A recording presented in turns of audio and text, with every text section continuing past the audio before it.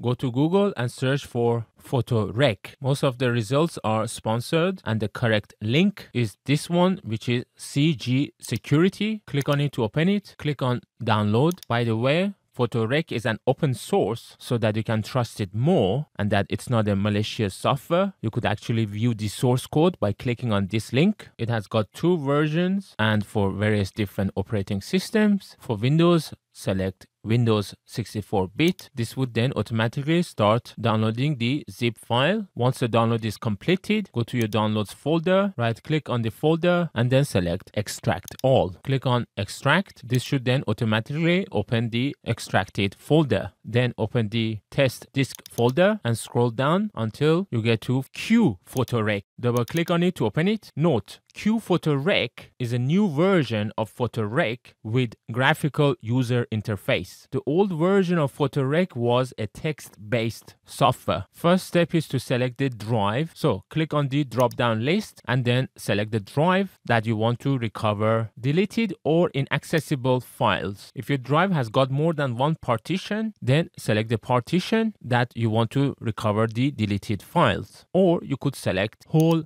disk, which would scan all the partitions. Note, when I select whole disk, then it doesn't allow me to select free, which is scan for file from unallocated space only. That is why I select this partition. PhotoRec gives you two options to recover the deleted files. The first one would recover any files that are not there in your hard disk. It means the unallocated space only. So after deleting any files on any drive, that space on the drive becomes unallocated space. In other words, it would just recover the deleted files. However, if you want to recover all the files, whether they are deleted or not deleted, then select the whole option. I just want to recover deleted files, so I select free. Next option is to select file system type. Here you could see your file system type, which is in my case FAT32. So just make sure the selected file system type matches your drive's file system type. Next, click on browse. Warning, you should not select a folder inside the drive that you're trying to recover your deleted files. So select a folder, for example, desktop. You could create a new folder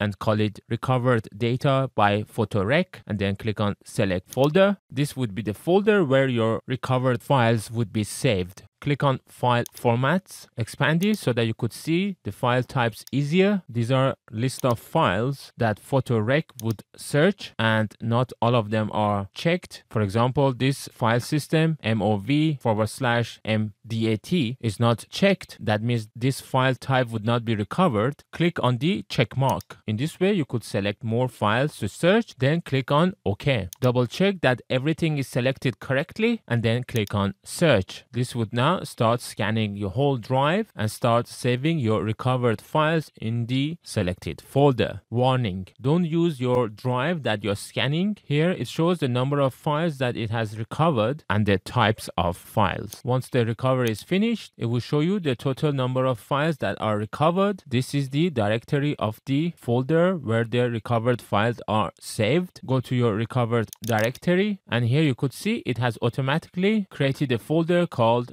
recup underscore dir.1. Open it and test your recovered files. As you can see, most of my photos are recovered and my videos are also recovered. However, some of the videos don't play. These videos are taken by Apple and they are in MOV format. They can't be played because of some missing metadata. However, it has still done a good job in recovering most of my files. One drawback with this file recovery software is that it doesn't recover the original file name and changes all the file names to a generic name important. QPhotoRec is almost identical to the older version of PhotoRec, which was a text-based software. However, it is missing options, which can give you extra options to select, for example, paranoid, keep corrupted files. So if you want to try the text-based PhotoRec, then please don't forget to watch my video, recover deleted files using PhotoRec. Or you could try my many other methods to recover deleted files.